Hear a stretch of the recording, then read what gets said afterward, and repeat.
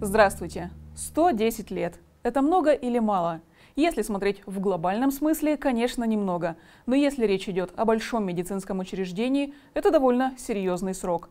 28 сентября свой юбилей отмечает железнодорожная клиническая больница города Иркутска. Ей 110 лет – и сегодня у нас в гостях главный врач больницы юбиляра Елена Анатольевна Семенищева. Здравствуйте, Елена Анатольевна. Здравствуйте. Многие считают, что попасть на прием к вашим докторам довольно сложно, практически нереально, что вы ведомственное учреждение. Так ли это? Это 110 лет мы открыты для всех. Вы должны иметь полис обязательного медицинского страхования, полис добровольного медицинского страхования.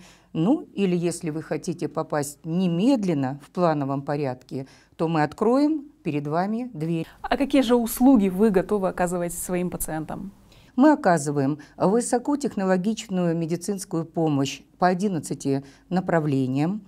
У нас современный 160-срезовый аппарат МСКТ, у нас МРТ, КТ, у нас литотрипторы, у нас э, очень хорошая аппаратура в нейрохирургическом центре, где и наш микроскоп, э, он шестой по счету э, в России. Скажите, а налажена ли как-то работа со службой скорой медицинской помощи? Я очень благодарна Министерству здравоохранения Иркутской области, что у нас получился хороший современный совместный проект, что мы хирургическую помощь оказываем в экстренном режиме.